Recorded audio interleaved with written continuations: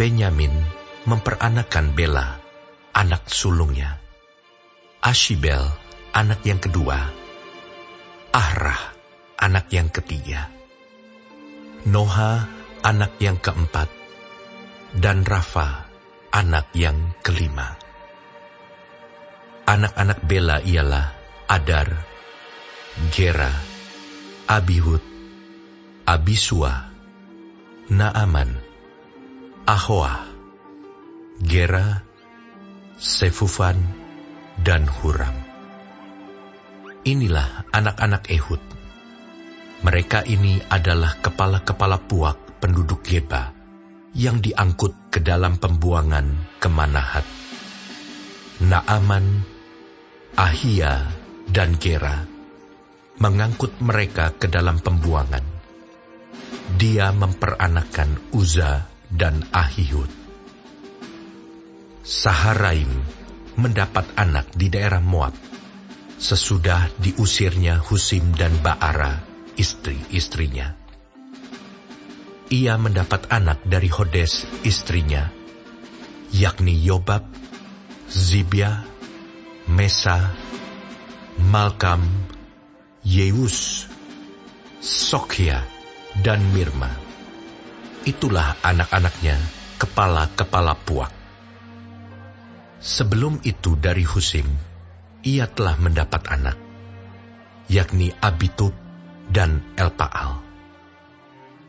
Anak-anak Elpaal ialah Eber, Misam, dan Semet. Dia ini mendirikan kota Ono dan kota Lot dengan segala anak kotanya. Beria dan Sema adalah kepala-kepala puak penduduk Ayalon mereka telah menghalau penduduk Gad.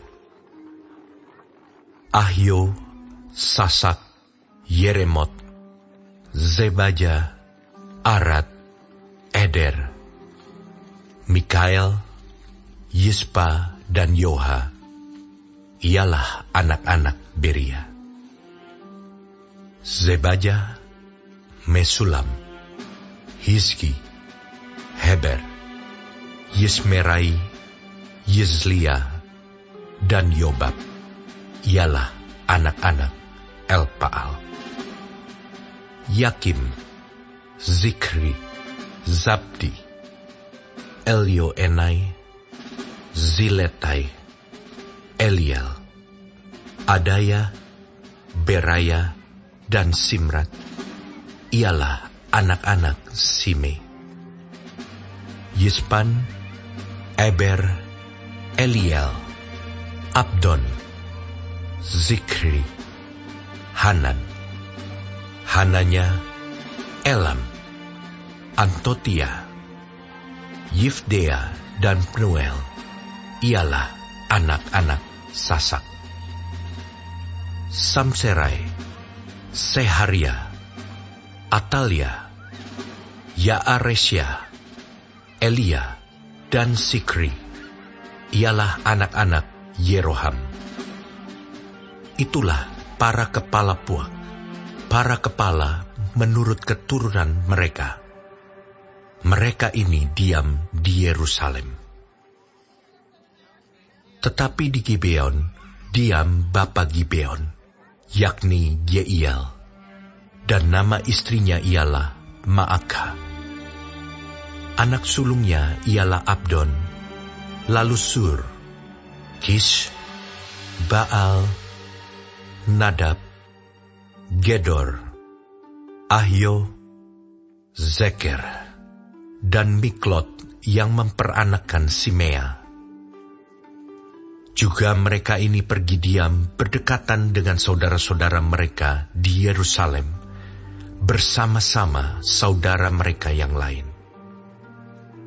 Ner memperanakan Kis. Kis memperanakan Saul. Saul memperanakan Yonatan, Malkisua, Abinadab, dan Eshibaal. Anak Yonatan ialah Meribaal, dan Meribaal memperanakan Mika. Anak Mika ialah Piton, Melech, Tarea, dan Ahas.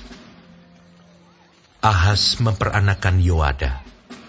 Yoada memperanakan Alemet, Asmawet, dan Simri. Simri memperanakan Moza. Moza memperanakan Bina. Anak orang ini ialah Rava, dan anak orang ini ialah Elasa, dan anak orang ini ialah Azel. Azel mempunyai enam orang anak, dan inilah nama-nama mereka.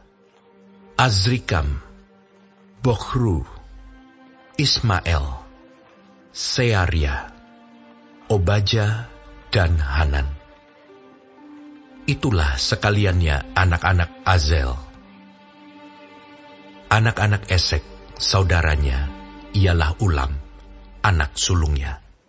Lalu Yeus, anak yang kedua, dan Elifelet, anak yang ketiga. Anak-anak Ulam itu adalah orang-orang berani, pahlawan-pahlawan yang gagah perkasa, pemanah-pemanah. Anak dan cucu mereka banyak, 150 orang.